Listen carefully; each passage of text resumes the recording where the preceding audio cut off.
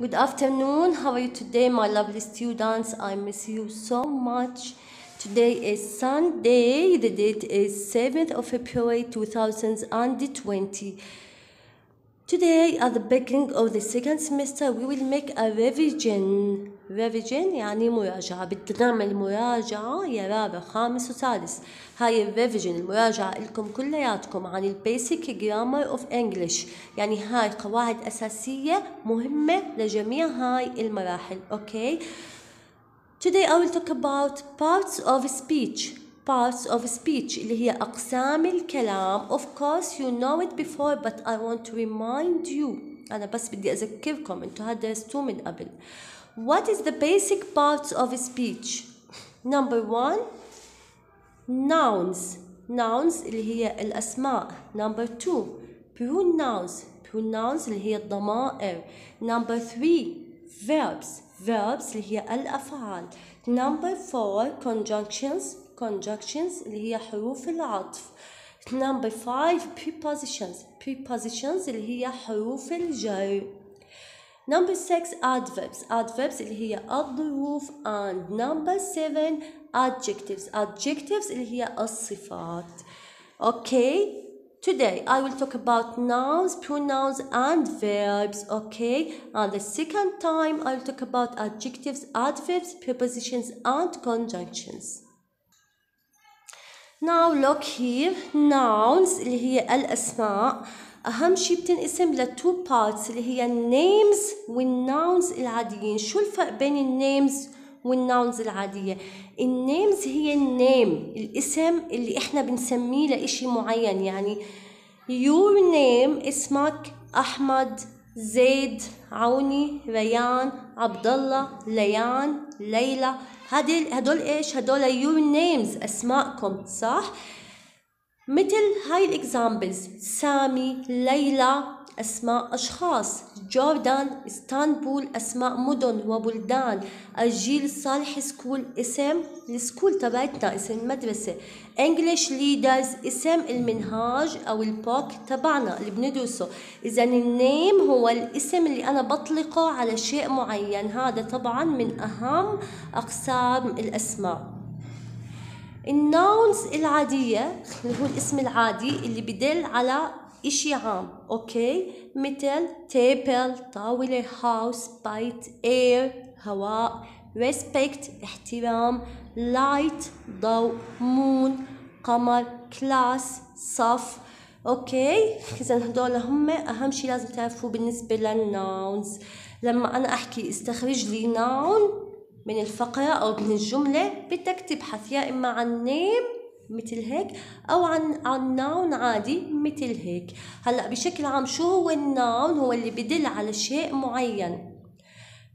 ما بيوصف مش فعل بنقوم فيه لأ noun هو اسم بيدل على شيء معين سواء هذا الإشي ملموس أو غير ملموس. يعني عندنا مثلا respect احترام. respect ملموس لأ بس هو ال noun أوكي؟ Now look here. Pronouns pronouns اللي هي الضمائر مثل ما حكينا. ال pronouns uh, is divided to basic three parts اللي هي ممكن يكون ال pronoun subject فاعل أو ممكن تكون object مفعول به أو ممكن تكون possessive pronouns اللي هي ضمائر ملكية.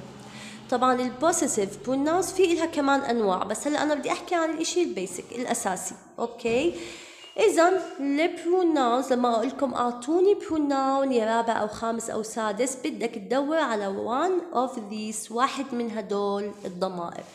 هلأ في حالة ال subject الفاعل الضمير I اللي هو معناه أنا أوكي؟ شو بيكون بحالة ال object me شو بيكون بحالة ال possessive my أوكي؟ the pronoun you الضمير you اللي هو معناه أنت أو أنتم. هذا بحالة ال subject. شو بيكون بحالة ال object كمان؟ you بحالة ال possessive your أوكي the pronoun he اللي هي معناها هو. بحالة ال subject he بحالة ال object him بحالة ال possessive sorry his. The pronoun she ضمير she اللي هو معناه هي. أوكي بحالة ال subject she object بيصير her بحالة ال possessive بيصير كمان her live the pronoun it اللي هو بيستخدم بمعنى هو للجماد والحيوان. بحالة ال subject it وبحالة ال object كمان it وبحالة ال possessive its. The pronoun they اللي هو معناه هم أوكي بحالة ال subject they ال object بيصير them وبحالة ال possessive بيصير their. and the last pronoun which is we we اللي هو معناه نحن بحالة السبجكت بيكون we إذا كان object بيصير us إذا كان possessive بيصير our okay now look here Verbs. Verbs اللي هي مثل ما حكينا الأفعال. هلا ال verbs is divided into two basic groups بنقسموا لمجموعتين أساسيتين اللي هي المين verbs الأفعال الرئيسية اللي بيكون إلها معنى والhelping verbs اللي هي الأفعال المساعدة التي ليس لها معنى. أوكي we will talk about main verbs بالنسبة للأفعال الرئيسية اللي إلها معنى I will give you some examples go يذهب play يلعب eat يأكل sleep ينام love يحب which يتمنى أوكي؟ برجع كمان بأكد سواء كانت ملموسة أو غير ملموسة. هي verbs والها معنى يعني سواء كان إشي مثل go يذهب هو إشي إحنا بنعمله أو مثل wish يتمنى هو إشي إحنا بنتمناه بس يعني ما ما بنعمل إشي معين يعني. يعني بنتمنى بذهننا بس. لكن هاي كلياتها main verbs هي أفعال إلها معنى هي اللي بتعطي المعنى للجملة. أوكي؟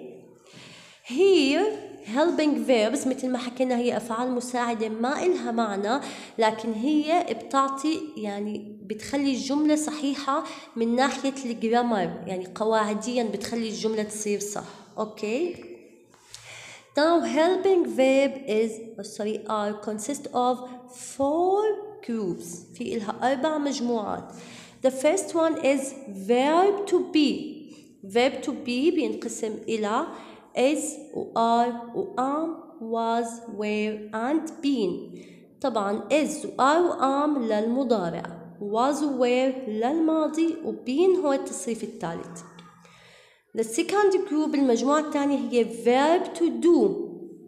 أوكي اللي هو تصريف الفعل do. بينقسم إلى do does did and done. Do and does هم للمضارع. Did للماضي وال done هو التصريف الثالث. The third group is verb to have. Verb to have اللي هم تصريف الفعل have. أوكي بينقسموا إلى have has had. هلا have و has بنستخدمهم للمضارع وهاد بنستخدمه للماضي وهو كمان التصريف الثالث. The last and fourth group is models. Models اللي هم دائما نستخدمهم أو غالبا للتعبير عن المستقبل future.